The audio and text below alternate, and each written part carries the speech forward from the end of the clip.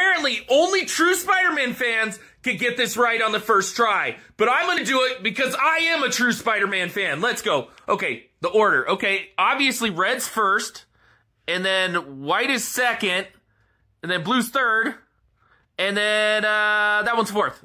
Let's go. We got this. First try. Let's do it. Let's do it. Why isn't it working?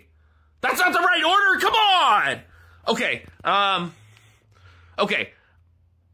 Uh, okay. There's the most spider web, so let's make that number one. So spider web's number one, and then there's the second most blue.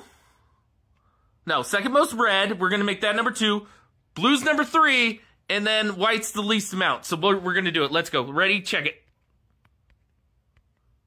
Wait, why isn't that right? Come on! I did it right! This is impossible, guys! Somebody duet me and show me this is actually possible. Nobody can actually figure the order out. This is stupid.